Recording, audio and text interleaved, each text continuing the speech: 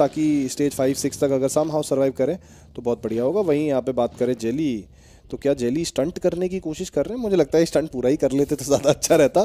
Team Godlike के द्वारा, लेकिन बिलीव यहाँ पे जवाबी कार्रवाई करते हुए बिलीव ट्राई बाय करके बिलीव को डाउन कर दिया गया है। शॉट लेने की कोशिश की गई है बिलीव के ऊपर। JAP Bing the last man standing M bot को बचाना है। बिलीव को बचाना है। के को आगे लेके जाना है। जैप सा क्या कमाल कर पाएँगे? गॉड लाइक है सामने की तरफ़। ट्राई आउट का हाथ में, ये ग्रेनेड क्या मिलेगा? नॉक जैप निकल चुके हैं। काफ़ी ज़्यादा एचपी लॉस हुआ है। कुछ और बुलेट्स लगेंगी। जैप को उतारने की कोशिश की गई वहाँ पे। गजब का प्रदर्शन, गजब का